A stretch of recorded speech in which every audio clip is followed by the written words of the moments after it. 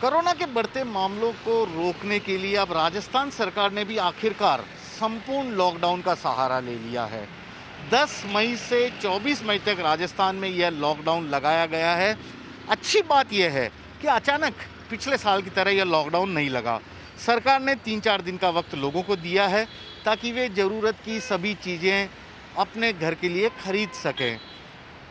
ताकि जब चौदह दिन का ये लॉकडाउन लगेगा तो उन्हें परेशान बहुत ज़्यादा नहीं होना पड़ेगा। सबसे अच्छी बात है कि नियम कायदों में कुछ हद तक सरकार ने छूट भी दी है, लेकिन अब बैंड बाजा और बारात राजस्थान में 30 31 मई तक सुनाई नहीं देंगे, क्योंकि सरकार ने सभी तरह के विवाह समारोह पर पूरी तरह से रोक लगा दी है। विवाह ज़रूर किया जा सकेगा, लेकिन दूल्हा दुल्हन सहित केवल 11 लोग ही उसमें उपस्थित रह सकेंगे। यहाँ तक कि हलवाई को भी इन 11 लोगों के कार्यक्रम में शरीक होने की इजाज़त नहीं मिलेगी। तो ऐसे में सरकार चाहती है कि लोग सुरक्षित रहें, सोशल डिस्टेंसिंग का पालन करें, ज़्यादा एक जगह पर इकट्ठा ना होएँ, क्योंकि आने वाले दिनों में कई सारे विवाह के मुहूर्त हैं। तो सरकार को अच्छी तरह से पता है कि ग्रामीण क्षेत्रों में यदि विवाह समारोह के आयोजन को अनुमति दे दी जाती है तो सबसे ज़्यादा कोरोना का संक्रमण वहाँ फैल सकता है। वैसे भी इस वक्त राजस्थान के गाँव में चौंतीस फ़ीसदी तक कोरोना संक्रमण के मामले आने लगे हैं, जो कि सरकार के लिए भी चिंता की एक बड़ी बात है।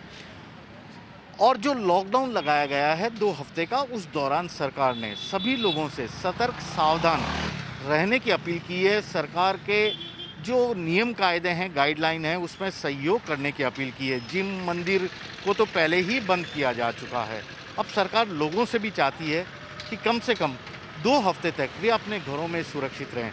इस दौरान राजस्थान सरकार की सबसे बड़ी कोशिश होगी कि मजदूरों का पलायन रुके हुए फिर से पिछले साल की तरह इधर उधर पैदल परेशान होकर ना चलने लग जाए और यही कारण है कि तीन दिन का तो वक्त दिया ही है। साथ ही भवन निर्माण के कार्य इस तरह के जितने भी अगर नए भवन अगर कोई बन रहे हैं तो सरकार ने वहाँ पर लॉकडाउन के दौरान भी काम काज शुरू रखने की अनुमति दे दी है। यानी कि ये लोग मजदूर जो हैं, यहाँ पर अपना कामकाज लॉकडाउन के दौरान भी कर सकते हैं। हाँ इतना ज़रूर होगा कि फैक्ट्रियों और मजदूरों फैक्ट्रियों और इस तरह के भवन निर्माताओं को लिखित में अपने मजदूरों को एक लेटर देना पड़ेगा। सरकार को अनुमति लेनी पड़ेगी। क्या हमारे यहाँ ये लोग रोज़ काम करने आएँगे और रोज़ चले जाएँगे? तो इस तरह की तमाम सुविधाएँ सरकार ने की है, साथ ही कोई भूखा ना सोए। राजस्थान सरकार की सबसे बड़ी एक महत्वाकांक्षी योजना भी है और सरकार की कोशिश भी है। उस दिशा में काम करने के लिए भी सरकार ने अभी से प्रयास कर लिया है, ताकि जो गरीब हैं, जो रोज़ाना कमा कर खाने वाले लोग हैं, उन लोगों को दो वक्त का भोजन मिल सके। राजस्थान पुलिस के जवान, चौबीसों घंटे इसी तरह से अब सड़क पर तैनात हैं। एक ज़िले से दूसरे ज़िले में बेवजह जाने पर पहले से रोक थी। बारह बजे बाद दोपहर को सड़कों से बाहर निकलने पर पूरी तरह रोक थी। अब गाड़ियों के मूवमेंट को पूरी तरह रोक दिया गया है और ज़रूरी सेवाओं के अलावा किसी भी तरह की गाड़ियों को सड़कों पर चलने की इजाज़त नहीं होगी। एक गाँव से दूसरे गाँव भी कोई नहीं जा पाएगा लॉकडाउन के दौरान।